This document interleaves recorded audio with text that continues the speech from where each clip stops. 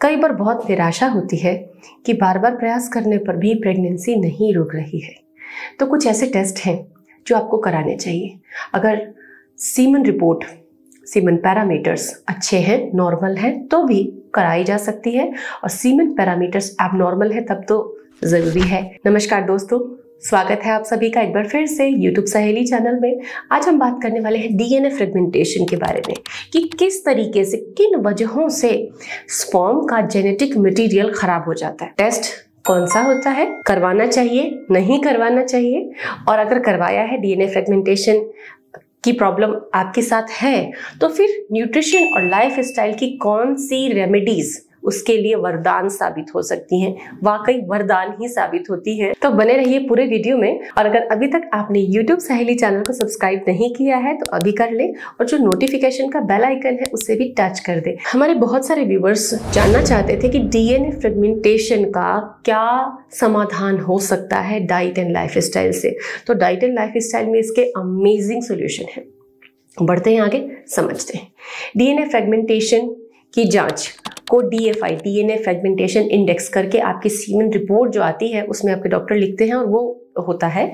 अगर sperm parameters normal है, तब भी अनएक्सप्लेन इनफर्टिलिटी अगर है तो ये टेस्ट करवाया जाता है।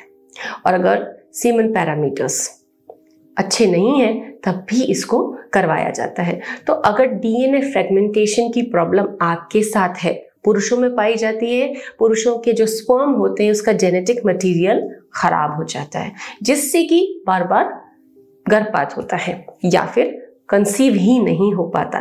तो ऐसी कंडीशन में क्या करें? अगला कदम आपको क्या उठाना है, वो हम अब समझते हैं। डीएनए फ्रेगमेंटेशन आज के समय की बहुत बड़ी प्रॉब्लम बढ़ती जा रही है ये प्रॉब्लम बहुत बड़ी प्रॉब्लम बनती जा रही है। क्यों? क्योंकि लाइफ स्टाइल की वजह से होता है।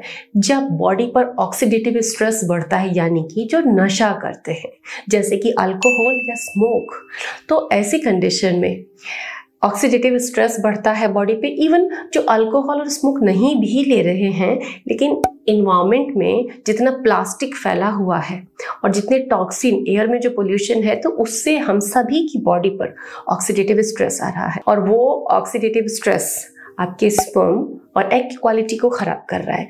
तो उसको हम कैसे ठीक कर सकते हैं? कुछ ऐसे शील्ड कवच जैसी चीज़ें मैं आपको बताऊँगी जो कि आपको प्रोटेक्ट करेंगी जेनेटिक मटेरियल है, उसको खराब होने से बचाएँगी। आपको रोज इस्तेमाल करना है, क्योंकि टिप्स हैं ही इतनी आसान। जब बात आती है ऑक्सीडेटिव स्ट्रेस की तो वहीं उसका सोल्यूशन जो न्यूट्रिशन साइंस में बताया गया है, वो है एंटीऑक्सीडेंट ग्लूटाथियोन एंटीऑक्सीडेंट फैमिली एक ग्लूटाथियोन का नाम आपने बहुत सुना होगा कि काले को भी गोरा बना देता है।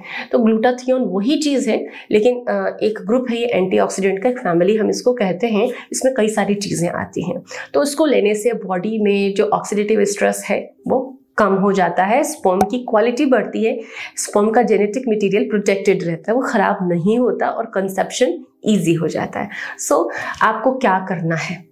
लाइफ स्टाइल में क्या करना है? सबसे पहली चीज़ जिंक पे ध्यान देना है। अगर आपने डॉक्टर से सलाह ली है, अपने हेल्थ केयर प्रोवाइडर से आप फॉलोअप ले रहे हैं तो वो आपको कुछ सप्लीमेंट्स देंगे।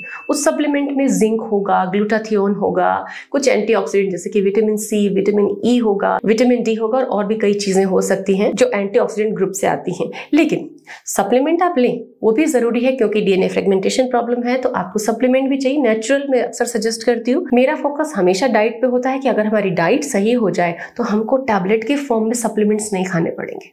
तो डाइट में क्या करें? तो डाइट में सबसे पहले जिंक बढ़ाना है। जिंक किसमें अच्छा होता है? स्प्राउट्स में होता है। कद्दू के बीज है, उनमें बहुत अच्छा होता है। जितने भी सीड्स और नट्स हैं, इनमें जिंक बहुत अच्छी मात्रा में होता है। नॉन वेजिटेरियन है, उसमें भी चिक पीस काबुली चने, छोले जिनको कहते हैं, उनमें भी होता है। तो इन चीज़ों को खाने में ऐड कर दीजिए। अगर डीएनए फ्रेगमेंटेशन की प्रॉब्लम है तो जो भी मैं आइटम्स बता रही हूँ, उन सबको अपने सुबह से रात तक के खाने में आप प्लेस करें। बहुत अच्छे रिज़ल्ट आएँगे। कम से कम दो से तीन महीने फॉलो करें। फिर टेस्ट रिपीट कराएँ। आपको बहुत अच्छे रिज़ल्ट मिलेंगे। दूसरी चीज़ है सेलेनियम सेलेनियम स्पर्म के मैचुरेशन डेवलपमेंट के लिए बहुत ज़रूरी है। तो सेलेनियम कैसे खाएँ? अगर आप एग खाते हैं तो पूरा एक उबला हुआ अंडा रोज खाएँ।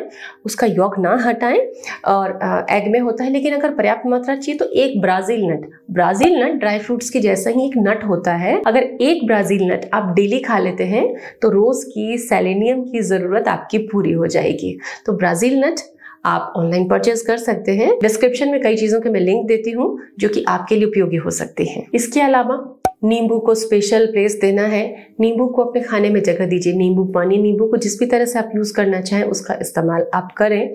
इसके अलावा सीड्स और नट्स बहुत अच्छे से यूज़ करें डेली दो चम्मच सीड्स एंड नट्स क्योंकि उसमें विटामिन ई e होता है, कुछ इंपॉर्टेंट प्रोटीन भी होते हैं तो विटामिन ई e की बहुत ज़्यादा ज़रूरत है, अखरोट है। सीड्स एंड नट्स पे मेरे स्पेशल वीडियो हैं, छह तरह के स्पेशल सीड्स कौन से हैं, और इनको डेली आप टोटल अगर मिक्स करके लेते हैं तो दो चम्मच सीड्स मिक्स आप डेली खा सकते हैं। तो मार्केट में roasted ready to eat type से अवेलेबल होता है। आप डायरेक्ट परचेज करें और कंज्यूम करें। आपका टाइम भी इसमें नहीं जाएगा। अगली इंपॉर्टेंट बात है टोमेटो और पॉमग्रेनेट अनार।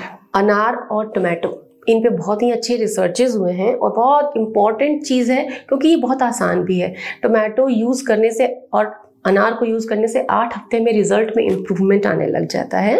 तो डीएनए फ्रेगमेंटेशन की प्रॉब्लम है स्पॉम पैरामीटर्स में गड़बड़ है तो टोमेटो कुकड फॉर्म में, क्योंकि कुकड फॉर्म में वो हमें ज़्यादा बेनिफिट करेगा। आप हमेशा पूछते हैं, मुझे कमेंट आते हैं कि क्या हम सलाद में ले सकते हैं? रॉ ठीक है, आप ले सकते हैं, लेकिन अगर आप कुकड लेंगे तो आपको ज़्यादा फ़ायदा होगा। इसलिए मैं कहती हूँ कि टोमेटो का सूप ले लीजिए। डिनर में आप टोमेटो का सूप ले लीजिए। अगर आप इंस्टेंट सूप नहीं बनाना जानते तो आप हमें कमेंट करें, हम आपके लिए वीडियो क्रिएट करेंगे, ताकि आपको हेल्प मिले। आप फटाफट 10 मिनट में इंस्टेंट घर में टोमेटो सूप कैसे बना सकते हैं। इसके अलावा अनार का सेवन शुरू कर दें। कुछ एक्सरसाइज ऑक्सीडेटिव स्ट्रेस को कम करने में हेल्प करेगी। इसलिए डेली वॉक करें साइकिलिंग करें, कुछ आउटडोर एक्टिविटी करें, जिससे कि बॉडी को किक मिले। तो डीएनए फ्रेगमेंटेशन को सॉल्व करने के लिए जितनी diet and lifestyle tips है हमने आपसे शेयर की। ये जानकारी आपको कैसी लगी, हमें कॉमेंट करके ज़रूर बताएँ। State take care bye